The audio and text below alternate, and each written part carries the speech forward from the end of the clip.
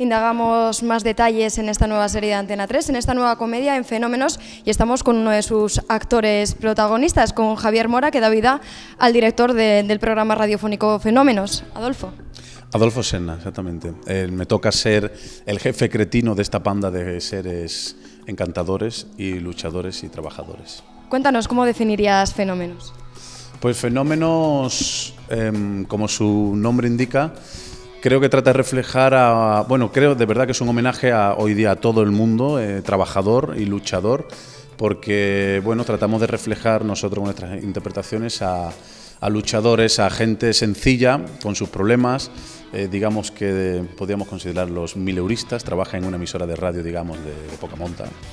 Y, tratamos de reflejar un poco las relaciones humanas entre ellos, las relaciones laborales, pero sobre todo eso, sobre todo las relaciones afectivas, los lazos que unen a unos con otros, el amor, el desamor. Y mm, usamos, digamos, digamos como pretexto, como, como vínculo de todas esas historias, pues una emisora de radio que trata sobre fenómenos paranormales. Y eso creo que lo hace interesante además porque el tema del oculto y del misterio, aparte de esa parte del misterio, también tiene una parte cómica y, de estos personajes que ya los conoceréis envueltos en esas situaciones divertidas, creo que lo hace todo mucho más divertido.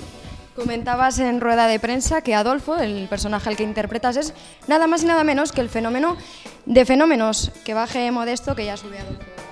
Exactamente, sí.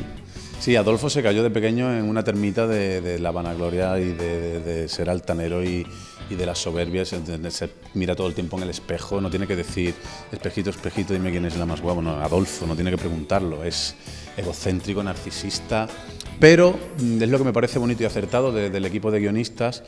Mm, yo te lo describo y a priori tú puedes decir, bueno, ¿y cómo una televisión, ¿no? que además en este país que se busca mucho la audiencia, cómo se puede meter un personaje con estas características porque el público no va a empatizar con él.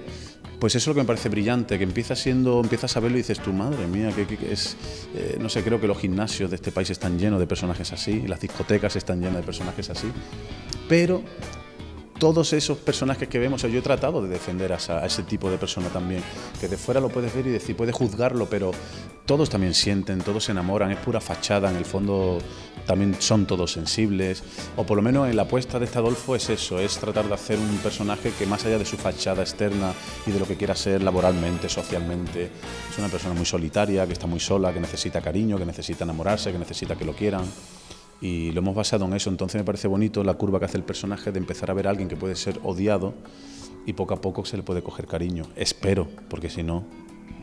Hablabas de que Adolfo es un personaje narcisista. ¿Tendrá algún romance con esa persona que le viene a quitar el terreno dentro de la redacción, que es el personaje de Victoria, personaje que encarna Kira Miró? Te quita ese terreno, llega ella, es la jefa, tú ya bajas un escalón, pero surgirá el flechazo, llegará el amor. Yo creo, o sea, si en lugar de ser el, Victoria, ¿no? De personajes de Kira, si en lugar de ser una mujer es un hombre, Adolfo no podría, pues morir, sería como competir, ¿no? Sería como Messi cristiano, es como de no, no puede ser.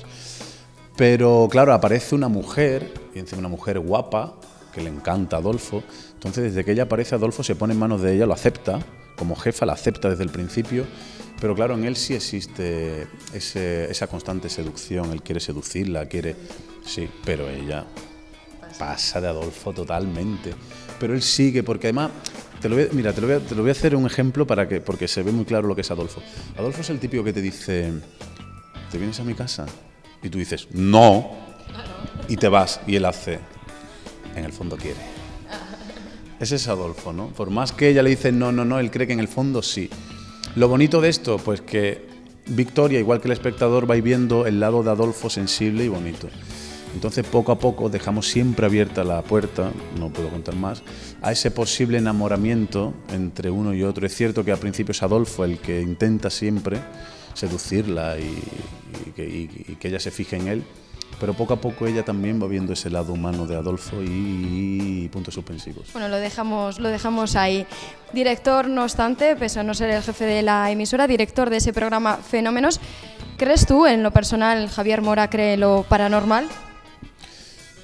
Pues, mm, mira, llevo toda mi vida deseando que me ocurra algo paranormal, pero no en plan por, no sé, sino porque me gusta ese tema. Creo que puede haber algo más allá de lo que vemos y de hecho existe. Eh, te quiero decir, no vemos las emociones existen, ¿por qué no va a haber más cosas que no, que no conozcamos y que estén? Pero sí es cierto que en la vida nunca me ha ocurrido nada, nunca. Y todo lo que me ha llegado no ha sido directamente de alguien, sino de alguien que le dijo a alguien. Entonces cada vez, de pequeño sí tenía esa ilusión de, de, pero cada vez la estoy perdiendo. A ver si, no sé, yo soy del que va por la carretera de noche y dice, uy, aparezco un ovni, quiero ver un ovni. Desde un ruido, no me di de verdad un ruido, pero es extraño el ruido. Y al final siempre está justificado. La chica de la curva también, ¿no? Sí, pero es, es mentira. Y además no es esto de decir, no es que no me daría miedo, no, no, me daría miedo seguro. Imagínate ver una chica en una curva, pero, pero no ocurre. Realmente no ocurre. ¿A ti te ha ocurrido algún fenómeno paranormal? No, de momento tampoco. ¿A que no? Sí, de- y además es como que las cosas peores no son paranormales, son del día a día, ¿no? Pues me da mucho más miedo el, el- que te encuentras en la esquina y no sabes de qué va, que aparezca una señora en, en un teatro cuando estás actuando y se va al fondo la figura de una persona. No Se está poniendo serio, así que Javier Mora, muchísimo éxito, muchísimas gracias por habernos atendido y suerte, a ver si consigue esa victoria y lo veremos en Atena 3. Muchísimas gracias a vosotros y que el festival dure muchísimos años.